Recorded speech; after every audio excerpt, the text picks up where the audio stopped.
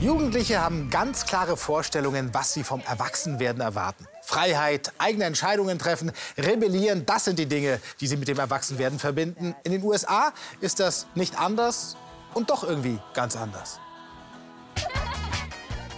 Spaß haben, Freunde treffen, Konzerte besuchen. Das tun auch Caitlin, 17, und ihr zwei Jahre jüngerer Bruder Mitchell. Soweit, so normal. Doch eine Parallelhochzeit der beiden Minderjährigen wird ihr Leben extrem beeinflussen. Wir sind in South Dakota, USA, im Städtchen Sioux Falls. Eine typische US-Kleinstadt mit rund 150.000 Einwohnern. Familie Autka ist jedoch gar nicht typisch. Sie zählt zu den 80 Millionen Amerikanern, die den evangelikalen Christen angehören. Religion ist für die Geschwister Caitlin und Mitchell extrem wichtig. Doch das Fach ist an öffentlichen Schulen in Amerika verboten. Das ist einer der Gründe, weshalb die Autka-Kinder zu Hause unterrichtet werden. Die Bibel ist Lehrbuch und Ratgeber für Caitlin zugleich. Für jede Lebenssituation gibt es verschiedene Bücher in der Bibel. Momentan beschäftige ich mich viel mit Psalmen und biblischen Sprichwörtern. Darin steckt viel Weisheit. Die Küche der Outcast ist eines von rund 1,5 Millionen privaten Klassenzimmern in den USA. Caitlins und Mitchells Eltern unterrichten die beiden. Nur für schwierige Fächer wird einmal pro Woche eine Lernkooperative besucht.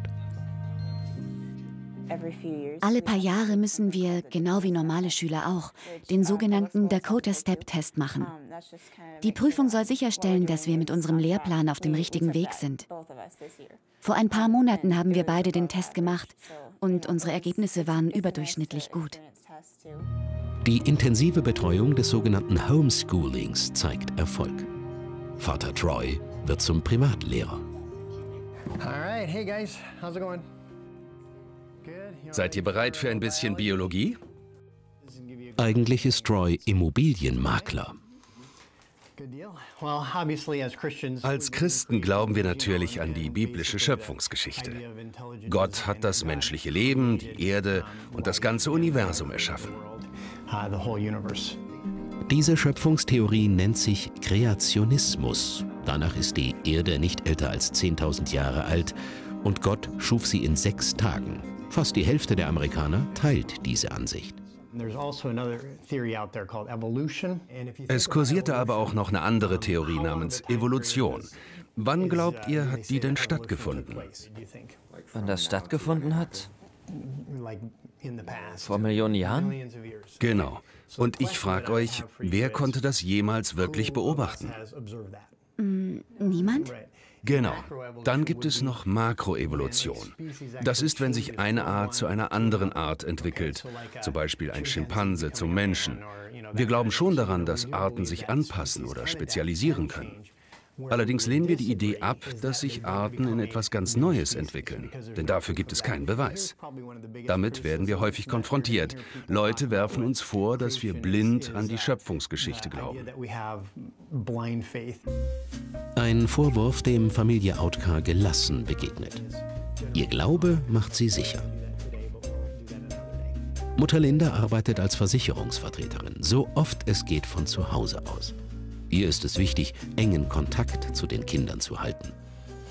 Natürlich schauen die Geschwister auch Fernsehen, zocken an der Konsole oder surfen im Internet. Aber was sie nutzen, wird vorher streng kontrolliert, ob es den Vorstellungen der Eltern entspricht.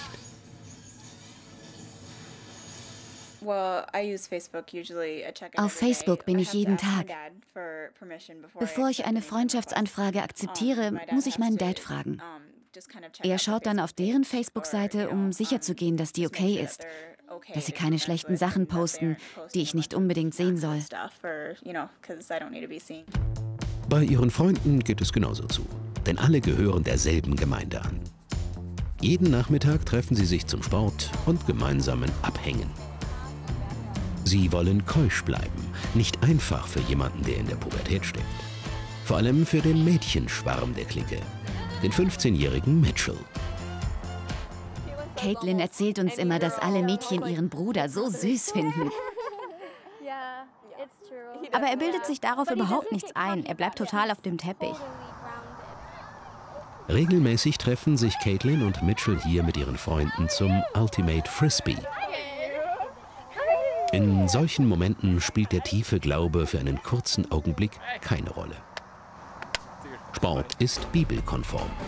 Unter Gleichgesinnten feiern auch.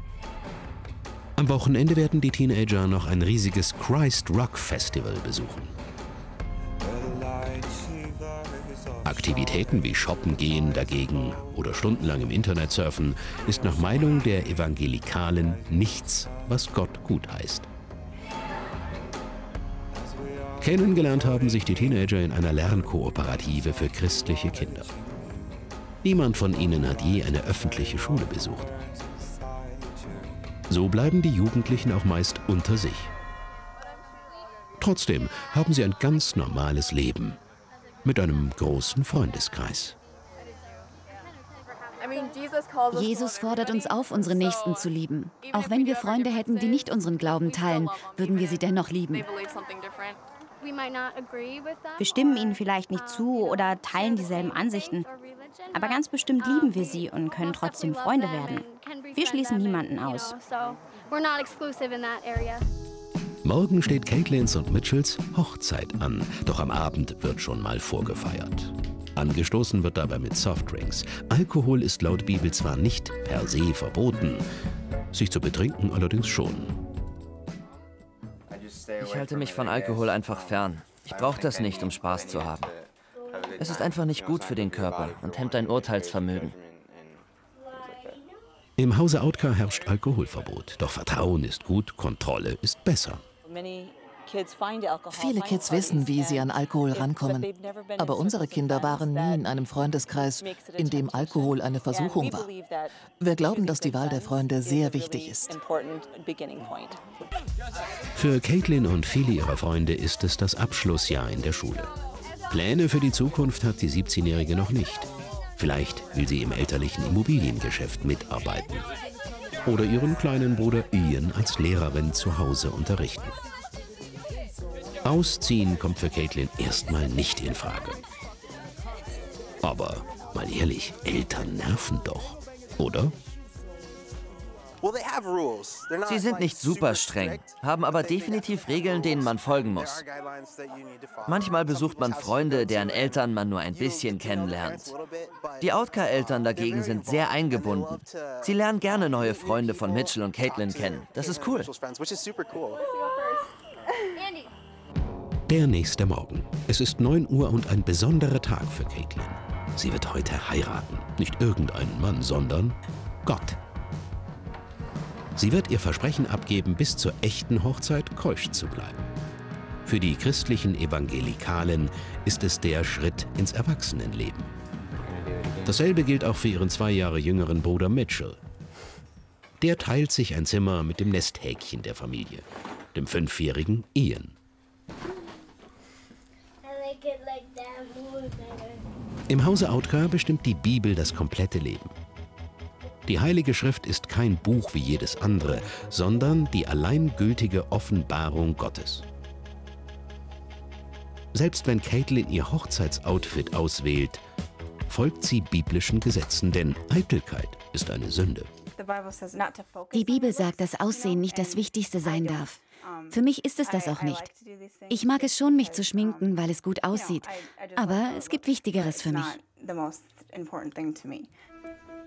Noch nie hat die 17-Jährige einen Jungen geküsst oder gedatet. Gegen aufkeimende Teenagergefühle allerdings ist auch sie machtlos. Verliebt würde ich es nicht unbedingt nennen, aber geschwärmt habe ich schon für Jungs. Damit habe ich schon Erfahrungen gemacht. Im Moment allerdings nicht. Ich bin in keiner Beziehung oder so. Und das werde ich wohl für lange Zeit auch nicht sein. Die Zukunft liegt in Gottes Hand. Die 17-jährige Caitlin glaubt fest daran, dass er ihr irgendwann einmal ihren Traummann schicken wird. Bis dahin wollen sie und ihr Bruder keusch bleiben. Und das wird heute offiziell gelobt. Vater Troy übernimmt die Rolle des Priesters. Freunde der Familie sind Trauzeugen. Für die Ehe mit Gott. Caitlin und Mitchell, ihr habt beide vor Gott den Wunsch geäußert, keusch zu bleiben bis zu eurem Hochzeitstag. Die Ringe, die ihr beiden jetzt bekommt, sind ein Symbol für dieses Versprechen. Sie sollen euch immer daran erinnern. Caitlin will sich sogar ihren ersten Kuss für den Hochzeitstag aufheben. Auch Dayton kommt für sie nicht in Frage. Bruder Mitchell sieht es ganz ähnlich. Das ist etwas, was nur mit einer Person geteilt werden sollte. Und das ist die Ehefrau. Es wird einfach unglaublich sein, diesen Moment mit unserem zukünftigen Ehemann oder der Ehefrau zu teilen. Diese besondere Nacht, für die man sich aufgehoben hat, wird einfach toll. Die Teenagerin hat es nicht eilig, einen Ehemann zu finden. Sie vertraut auf das perfekte Timing Gottes. Doch die sexuellen Versuchungen im Amerika des 21. Jahrhunderts sind groß und allgegenwärtig. Ich versuche einfach, mir diese Sachen gar nicht anzuschauen oder zu lesen. Ich weiß natürlich, dass es sie gibt, aber ich habe mich entschieden, das nicht in mein Leben zu lassen. Viel lieber trifft sie sich mit Gleichgesinnten. Die Outcasts wollen den großen Schritt ihrer Kinder drei Tage lang feiern. Auf dem Lifelight Christ Rock Festival. Das findet alljährlich etwa eine halbe Stunde außerhalb von Sioux Falls statt. Es ist eines der größten Festivals seiner Art in Amerika. Religion wird hier auf eine einzigartige Weise verpackt. Als riesengroße Party mit Hunderttausenden Besuchern. Caitlin und Mitchell lieben dieses starke Gemeinschaftsgefühl, das charakteristisch ist für evangelikale Veranstaltungen. Hier fühlen sie sich verbunden. Mit anderen Gläubigen und mit Gott. Für die Teilnehmer ist es ein drei Tage langer Gottesdienst. Jeder bekommt ein Freiexemplar der Bibel. Auch der Eintritt für das Festival ist kostenlos. Schließlich soll jeder das Wort Gottes hören können. Das lockt die Massen offensichtlich an. Auch Mitchell wird gleich zum aktiven Werbeträger der christlichen Botschaft. Mit seiner Band tritt er gleich auf. Ich bin total aufgeregt, Sie jetzt spielen zu sehen. Mitchell hat hart dafür gearbeitet und sich so auf heute gefreut. Er ist bereit dafür, Gott zu ehren.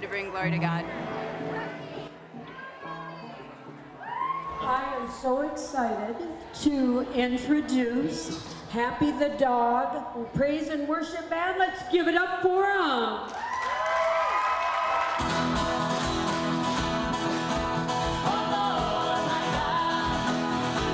Der Tag ihrer Bekehrung ist für Evangelikale der wichtigste ihres Lebens.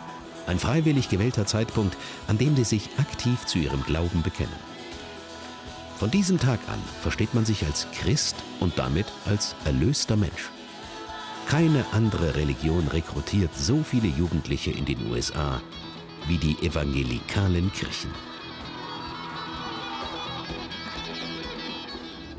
Mittlerweile ist Christ Rock eine millionenschwere Musikindustrie mit typisch amerikanischem Kommerzcharakter. Gebärdendolmetscher übersetzen die Texte, damit wirklich jeder die Botschaft versteht. Es gibt eigene Awardshows, Plattenlabels und eben auch Festivals. Ich bin so gerne hier und höre mir das Evangelium an. Ich treffe Freunde und kann gemeinsam mit ihnen beten. Die Evangelikalen achten einander und kümmern sich um ihre Freunde sehr stark. Teenager wie Caitlin fühlen sich in dieser Gruppe geborgen und wohl. In die Kirche wurden sie und ihre Geschwister hineingeboren. Trotzdem muss sich jeder individuell mit dem Keuschheitsversprechen bei der Ehe mit Gott zum Glauben bekennen. Für die Outcasts ist das Gebet auf dem Lifelight Festival ein beglückendes Gemeinschaftserlebnis. Für fast alle, trotz Facebook und Liebesgefühlen. Für die Teenager Caitlin und Mitchell ist der tiefe Glaube an Gott ein großes Glück.